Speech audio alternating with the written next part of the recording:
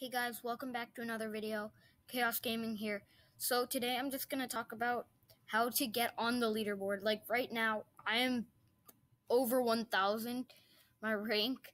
So yeah, um like this last season, season 26, I was I was almost in the 100s and I was doing like 300 races a day. So that just shows how competitive how competitive Nitro Type's becoming. Also, season 27. Like, I'm doing the same amount of races as last season, but now I'm not even in the 1000s. So, I'm not even, like, I'm over 1000 in ranks. So, that just shows this season, it's like, it's just so competitive. Even if you do 300 a day, you can't get that far on the leaderboard. So, uh, I'm just gonna talk about how to get on the leaderboard. First of all, don't do nine words per minute races. They devs moved removed the nitros from that a long time ago. And try to race as much as you can. Just don't race don't don't race too much that it'll hurt your health cuz that's really bad for you. So you know, one of the top racers that has a good amount of help is the leader of Talk. I like Cheeseburger. He does like I don't know 800 races per day or somewhere around that and his health is fine. Yeah, so 800 900. So, I'm going to tell you how to do that. So, you've got to take breaks. Um like race for 2 hours and then take breaks again race for two hour, take like a 30 minute break. And if you gotta eat, then do it in one hour. So basically, also in your races, um, if you if you race on Chromebook, then you you can you can race when you're at the last like the last letter.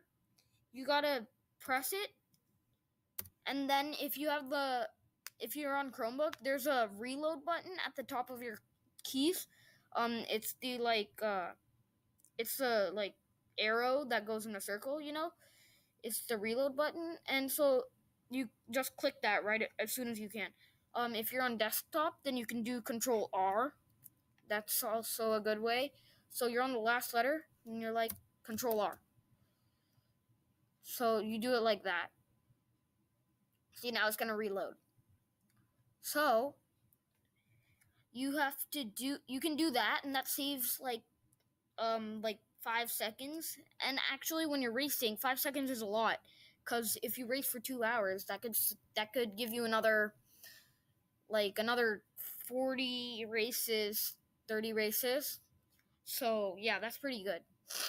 Also uh you should try try your best to like check your temperature daily because if you're really looking forward to get on the leaderboard, your your health could dramatically change. So sometimes you come down with the fever, all that, and like you get like get a cold, stuff like that.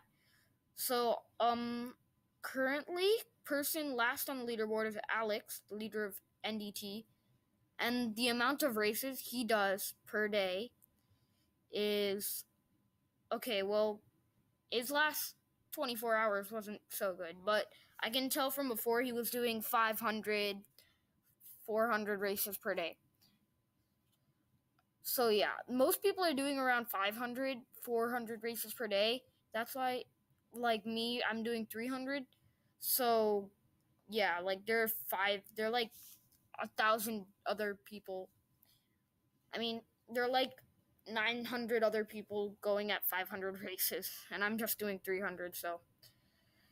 Okay, guys. So, that's the end of this video. Hope you enjoyed. Join the Discord down below, subscribe, and like the video.